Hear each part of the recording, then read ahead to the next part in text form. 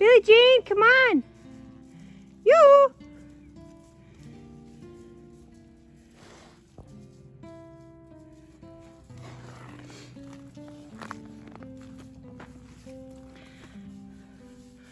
Come on, sister.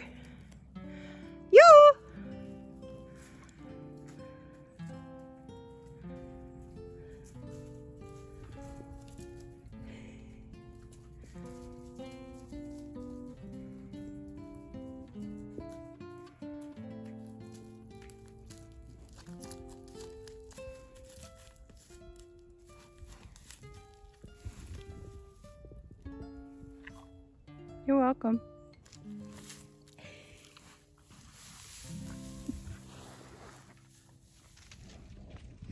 Hey guys, welcome back to Ashley's Homestead Adventures. It is a brisk 25 degrees outside, but it's sunny, which is nice. Um, I went in the barn this morning and did, you know, fed everybody. Uh, it was super cold this morning, so I just got everybody their hay and uh, got them their morning food, broke ice, moved water heaters and things like that. And uh, now I'm headed out to uh, work on the stalls, uh, what I can get done on the stalls. Uh, they're, you know, they're still frozen a lot, uh, but I want to get out what I can. And I haven't fed the chickens yet, so I'm going to feed the chickens. And we're just going to kind of do catch-up work. Um, I'm catching up from being down um, from a back injury and um, also from uh, just having some downtime with some grief, with some grief from some loss that we faced. Um, but anyway, come along with me and let's uh, get some farm chores done.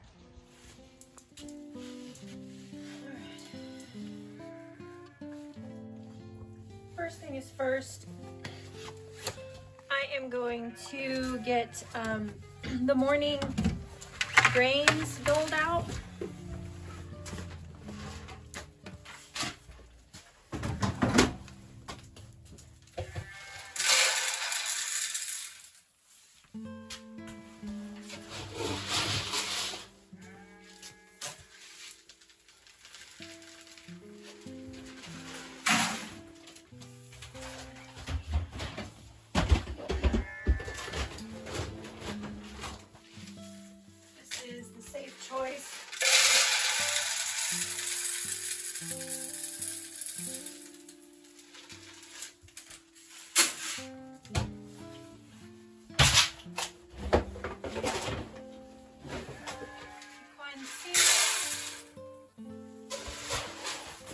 Some oats.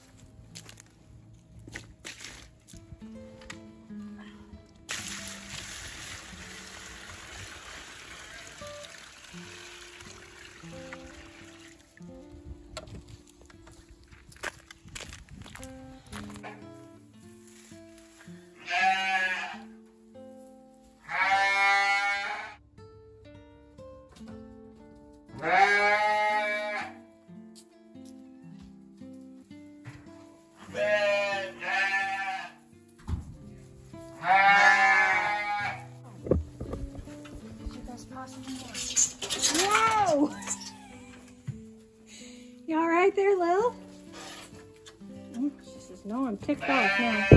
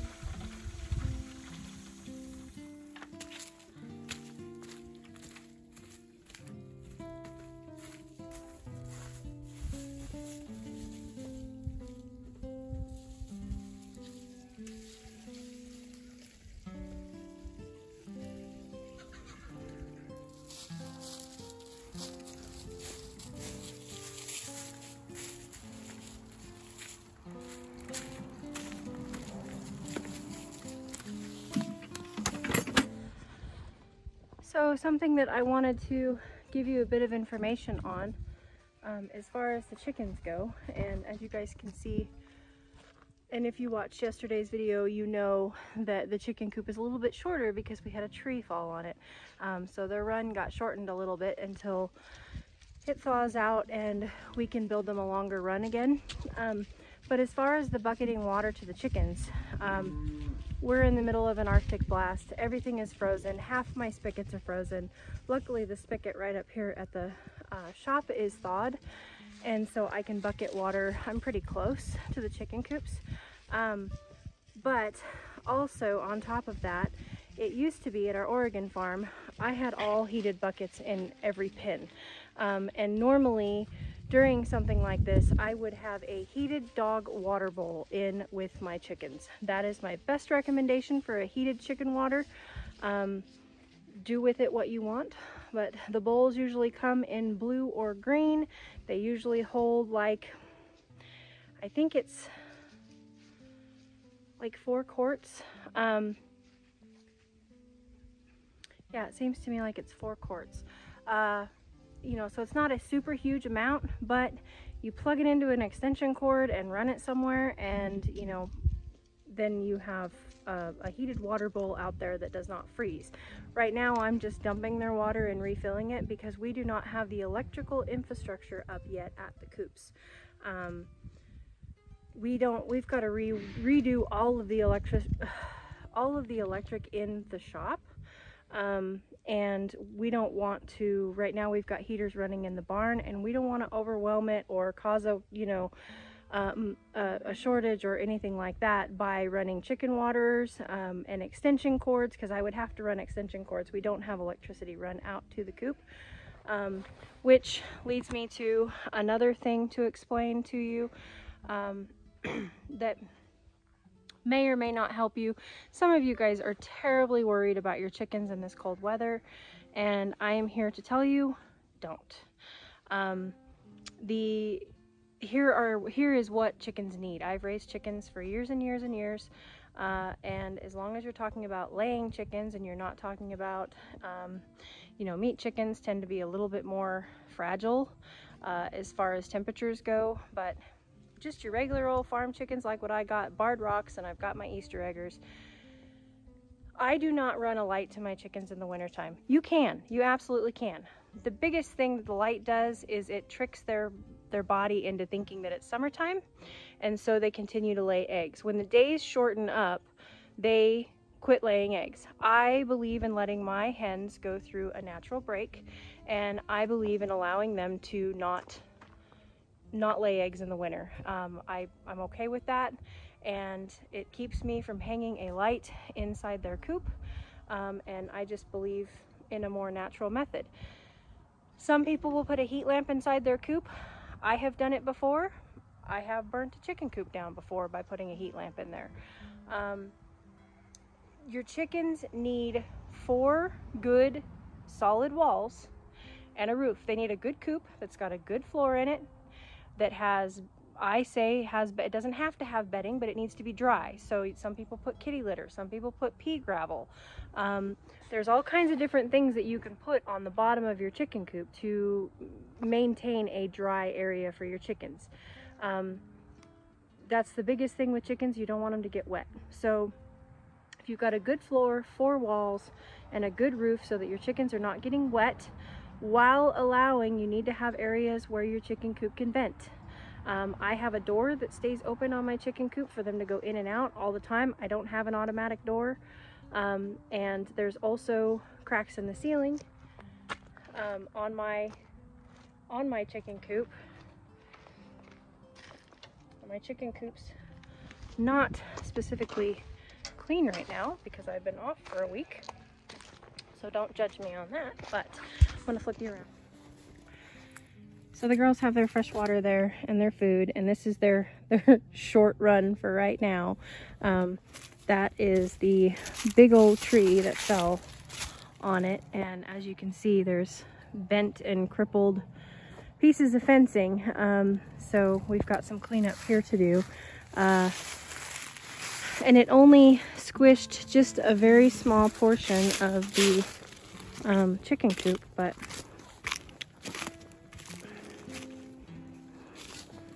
it just squished this, this corner in here. But this is a good example. You see that crack along there? That crack is, it's open. That's ventilation for them. So chickens need, you know, the four walls, a good floor, and this has a good floor on it. Um, I use bedding inside to keep it dry and then it just has needs to have ways to vent. And so all around the top we have it to where it's covered to where the water can't get in. You know there's a lip underneath there. So the rain can't get in the coop but all the way around there is venting. So that there's plenty of ventilation for the birds. Um, and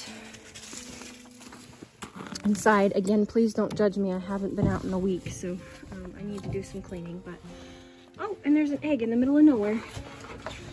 I'll take that. Oh, so I need to get my coops cleaned out. I try to clean them every week and I haven't been out for a week because my back's been bad. But, um, so they have their roosting bars and you can see clearly the ventilation on the top. So that's all they need. And then just something to keep this dry. And I know that there's, there's, this, this group is going through a molt. So there's feathers and there's some poo on the floor, but it's dry. Um, you guys can see, if I go like right here, this is all completely dry. Poop and all. Um, so there's no moisture in here, and as long as your birds are dry, they will not get too cold. Um, I've never had a problem as long as they had somewhere to get out of the weather, um, out of the wind, that um, there wasn't too much moisture that stayed dry your chickens are very cold hardy. It's heat really that, that gets to them really bad. Uh-oh, chicken police is here.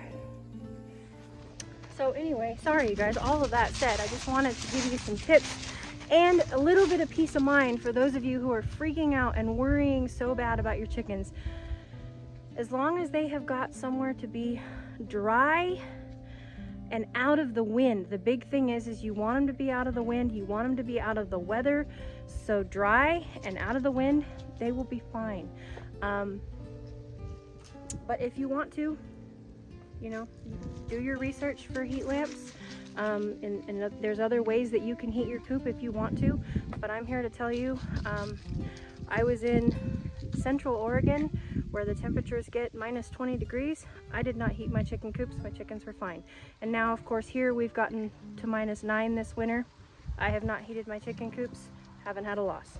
So uh, there you go, do what you want with it. But uh, if I can give somebody some peace of mind that's a new chicken owner that's worried to death about their babies, um, if you're giving them a a house and a shelter and you're providing them with fresh clean water and food every day, you're doing awesome. Now I don't think I videoed this group or told you about what I did, you guys. But long story short, I broke the chicken tractor, so we had to fix it. And in the process of fixing it, we were using the tractor and the tractor broke. So needless to say, the tractor is sitting here waiting for the mechanic to come work on it. I believe that the chicken coop is fixed and it will be able to be moved once we can get the tractor out of the way. But for now, this is where the pasture coop is sitting, um, just kind of waiting for them to be mobile again.